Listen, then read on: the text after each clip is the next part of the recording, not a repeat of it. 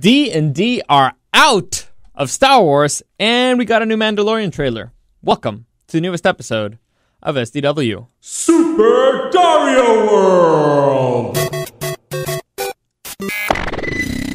It's a me! Dario.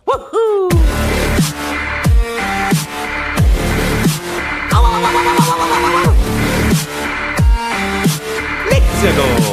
All right, so this is going to be a Star Wars heavy day. First off, let me give you a quick reminder you can listen to the podcast in the iHeartRadio app. Just type in the show presents Super Dario World. You'll find it right there. You can also find it on SoundCloud. Oh, well, I'm a little bit low here, ain't I? Uh, you can also find it on SoundCloud, YouTube, iTunes, and also on Podcast Addict, Spotify, and Castbox as Super Dario World Podcast.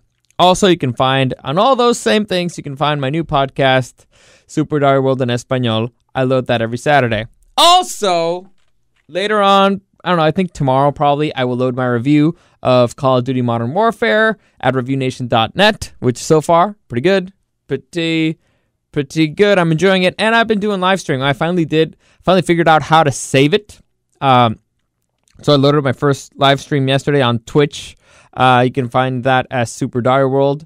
Uh, it's in Spanish, so uh, honestly, I did pretty terrible. I I'm not gonna lie. Uh, I I was not at my best gaming wise, so it's hard, man. It's hard trying to do the two things at once, trying to focus on playing and killing some bastards, and at the same time trying to talk about stupid things. But you know, practice makes perfect. Practice makes perfect. Fortunately, I did it late. Well, fortunately or unfortunately, I did it late, so there wasn't much people. I, I, learned a valuable thing. Don't do it that late because a part of you kind of wants to get going a little bit, you know, like a, maybe yell or something, but it's late, so it's probably a bad idea. Anyway, uh, yeah, you can check that out. Again, Super Dario World on Twitch. Today, I'll, I'll, probably just keep doing uh, Modern Warfare for a few days because I got to do the review. Anyway, let's also any comments, questions, or suggestions. You can find me at Dario the Show on Instagram. Uh, but okay, let, let's get into this because first off, let's talk about the good things. Let's talk about the Mandalorian trailer. For those of you who don't know, the Mandalorian series that's going to be an exclusive of Disney Plus just dropped its new trailer, and it looks great. It looks great. Beautiful. Uh, visually, it looks fantastic. Um, the story seems it's like it's going to be kind of dark. Uh, it's going to be kind of violent, which I'm really enjoying.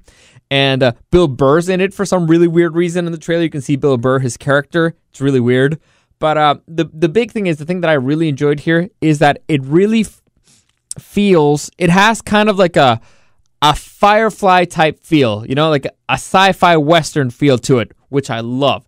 I love sci-fi westerns. There are not enough of them out there. There are not enough good westerns out there. Well, modern uh, uh, modern time westerns. I, I love them. They're great. They're phenomenal. And so sci-fi westerns even better.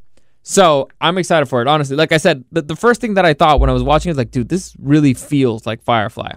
Uh, Obviously, it's very different, but it's. I think it has something to do about gra- grabbing the six shooter from the hip and boom. I don't know. Point is, I'm really, I'm really liking what I'm seeing. The kind of anti-hero vibe, kind of darker story, a little bit violence. We we needed that in the Star Wars universe. You know, we needed a little, a little bit of violence, just a little bit of a lot of violence. That's what we need. Anyway, looks pretty good. Now, the big news that just dropped, and I mean just dropped, and I am extremely happy about it, but also get into a little bit of conspiracy theories about it, is that Game of Thrones showrunners David Benioff and D.B. Weiss, henceforth known as D&D, uh, are officially leaving the Star Wars universe. Now, they were supposed to make a trilogy of movies that were supposed to come out in every two years, but and this supposedly it was going to be based on the storyline of Star Wars: The Old Republic, which is a great storyline. It's a phenomenal storyline. Highly recommend it. But uh, it's uh, it's a, it's also a video game if you want to check that out. It's a great game. Anyway, so it's uh, confirmed that they are leaving Star Wars. They're no longer going to make those trilogies movies, supposedly because they they have a contract with Netflix, that three hundred million dollar contract, and they don't have time to do both. Now, here's what I'll I'll, I'll read you the, their their quotes. All right, this is from the from D and D. We love Star Wars. When George Lucas built it, he built us too. Getting to talk Star getting to talk about Star Wars with him and the current Star Wars team was the thrill of a lifetime, and we will always be indebted to the saga that changed everything. There are only so many hours in the day, and we felt we could not do justice to both Star Wars and our Netflix projects, so we are regretfully stepping away. Now, that is very interesting. Um, I, I like to. I, I, I, I'm torn a little bit here because if I got an opportunity to work on something that's that important to me, and a saga that's that important to me, I would most likely take it. Granted, I'd be intimidated as hell and uh, I'd be terrified, but I mean, from the beginning, they could have said no, right? And how do you, to me, there's just something weird about taking another job when you're already committed to one. Your time should have already been committed to Star Wars. You signed that contract first. And then Netflix comes comes over with a bigger deal. Fine. And you're like, "Oh, I can do both." But at the end of the day, you're like, "All right, well, I'm going to stick with Netflix even though I already committed to one." To me, that's just first off unprofessional. I don't like that.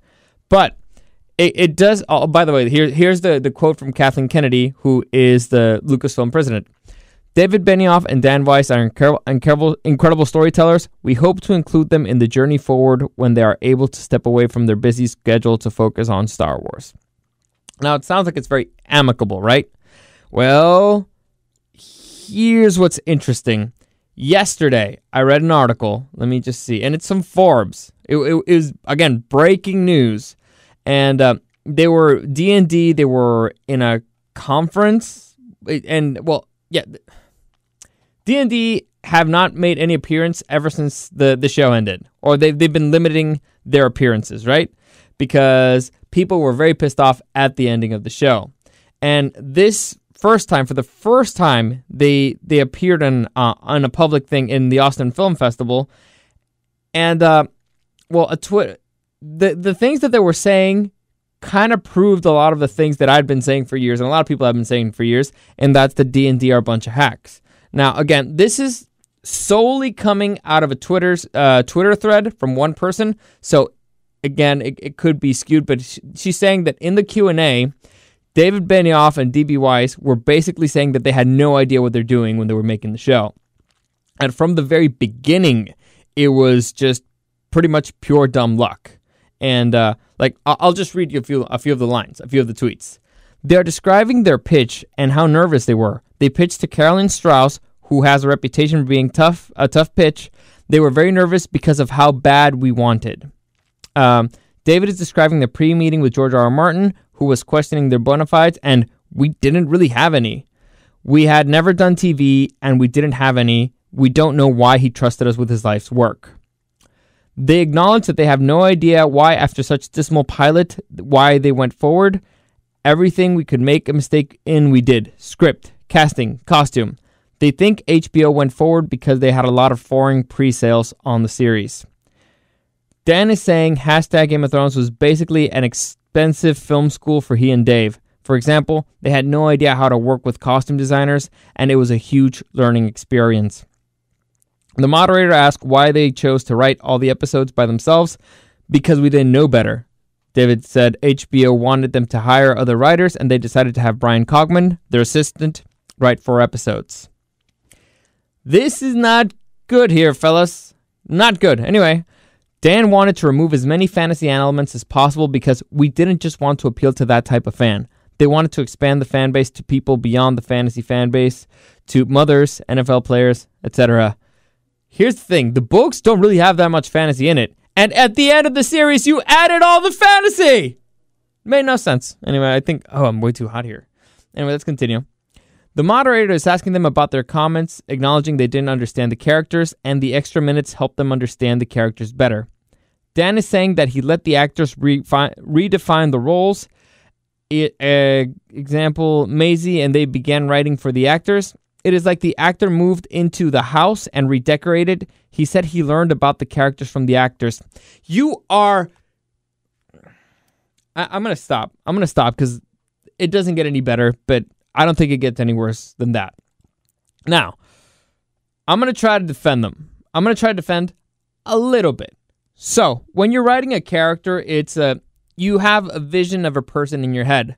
Then, when you cast somebody for that role, they do stuff that surprises you, stuff that you never even thought. It, it's a thing. It's happened to me. I've cast movies. I've written. I've written. I've written short. I've written stories. I've cast stories. Actors do bring stuff to the table. So what I usually try to do in my style of writing is I write the story first, and I write what I want the character to say, and I leave the actor the option of how I want him to say it. So you can put in the personality in, in or your own spin on that, but this is what I want you to say. As long as you get this particular message across, that's that's all I need from you. All right? Say it any way you want it.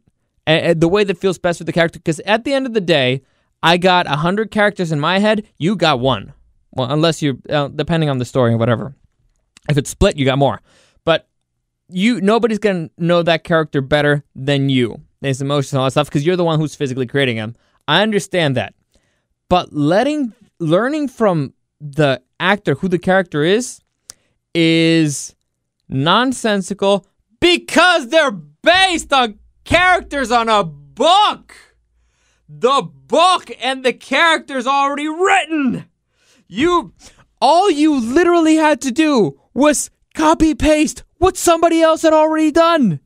And if the if the stupid actor comes in and says like, "Do you think there's there's a lot of things that for me, multiple scenes and I I've argued this with people. Here's the problem with actors, okay? Here's the problem with actors. They want to be liked.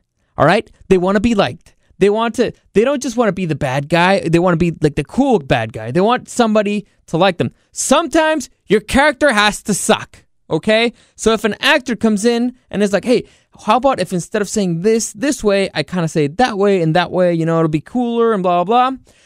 You're not supposed to give in. All right? You're the writer, you're the producer, you're the showrunner, you're everything. You're not supposed to give in to terrorists because they don't know what's happening next. You know what's happening next. And you know what happens when one actor does something in one episode that completely changes the dynamic in the next episode? It's gonna screw everything up because you already had a, a story for that guy. You already had a plan for that guy, right? You're the grown up here.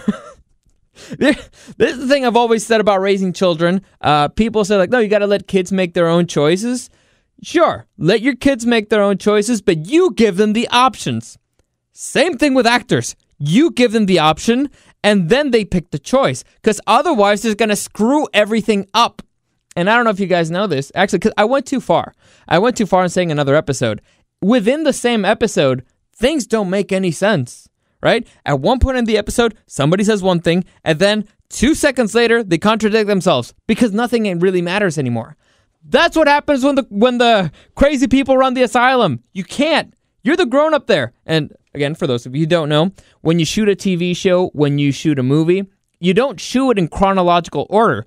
You might start off with the final scene and then work and then the middle one and then uh, three quarters and then the beginning. You don't know how it's going to go. So if one of these a-hole actors decides, you know what, uh, at the final scene, I'm gonna say something that kind of goes this way, and then you shoot the beginning, it's gonna completely mess everything up.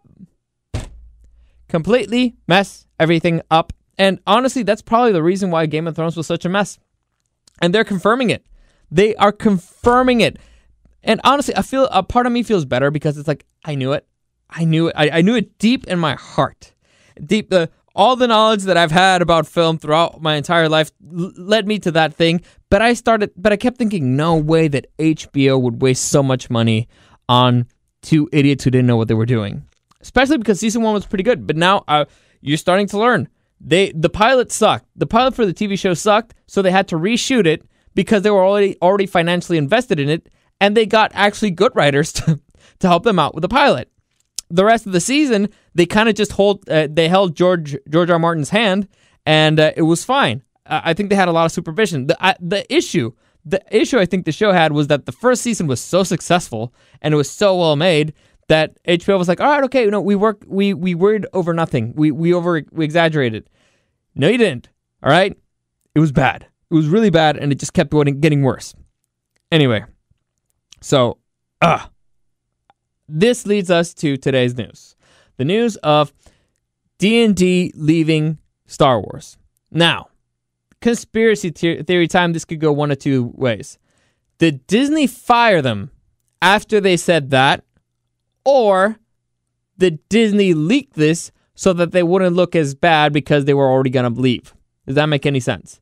So they said all these things on stage. Supposedly, I'm guessing nobody was supposed to to be recording it or anything, or because again, this all comes out from a Twitter thread. So somebody listened. This is secondhand information. Somebody else heard them say it and then typed it down. You're never going to get a verbatim thing, but let's assume that it's correct. Let's assume that's most. Let's assume that's 50% correct. Why? Why is it that only one person said it? Why isn't it just you know bigger news? Why aren't there more quotes? Why aren't there other people recording? Are they in a place where they were supposed to not be recording? It's weird. There's a lot of weird elements here. Is it because it was an, a leak and then Disney heard about it and they were like, "Oh yeah, we we don't." I've I mentioned this before. Star Wars is in shambles right now. the The first good thing that looks like it's coming its way is the Mandalorian. Right? Disney Plus looks like it's going to actually be the the saving grace uh, or TV looks like it's going to be the saving grace of Star Wars because right now it's in shambles. The they the the rise of Sky uh, uh, the rise of Skywalker. I, I mentioned this before. I'm I'm tentatively optimistic. Still not 100 percent convinced, but we'll see. the The hole was too deep. I don't know how you, you can dig yourself out of the hole and still manage to climb a mountain. It's hard. It's hard. But uh, giving faith to JJ. So the first really good thing that looks like it's going to be coming out coming out is the Mandalorian. And uh, hopefully, Star Wars Clone Wars. I really liked Star Wars Clone Wars. That show was great. And uh, now they had a planned series with D&D and they had meetings and they invested money and time and resources and all of a sudden they're like ah, we're, we're, we're, parting ways and, and we're good with it no problem sure we they're great creative writers we look forward to them working them in the future with your direct competition disney is letting d&d walk away to work with Netflix. Again, if you don't know, Disney just started Disney Plus, right? Disney Plus is a streaming service. They just started they left Disney to go work with Netflix. If you're Disney, you should be suing the living hell out of D&D or I mean, I guess it depends on the contract. But I'd be pissed as hell. I wouldn't be like, "Oh, we have we hope to work with them in the future." No, you'd be pissed. The only reason why you'd be like, "Oh, you know what? It's okay that they left with our direct competition," is that you think that they're gonna implode so bad that it's gonna help you. Honestly, honestly, I'm. That's what I'm thinking right now. That Disney saw their first drafts, their first idea for what they want to do with Star Wars, and they're like yeah, this is terrible stuff. And so this other thing drops, and all of a sudden they're like, you know what? If you want to focus on the other thing, it's cool. We we won't sue you. We won't do anything. We'll walk away amicably. Hopefully, we'll be able to work in the future. Or maybe you know they were kind of forced out the door, and they're like, you you'll say face, we'll say face. It was cool. You got to meet George Lucas. You talked Star Wars. Just uh, you know, don't let the door hit you with a go- good Lord split you. Okay, all right, all right. Anyway, that's my theory. Hopefully you enjoyed that.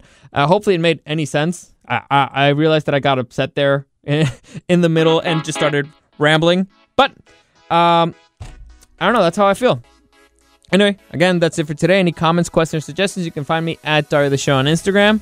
Also, I'll be streaming again today. Modern Warfare, Twitch, uh, Super Dario World. I'm not sure what hour. I- am aiming for three. I'm gonna aim for three again. I'm optimistic. You know what? I'll say four because I, I want to go home and work out. So, four probably, if not sooner. As always, thank you for listening, and I'll see you again tomorrow.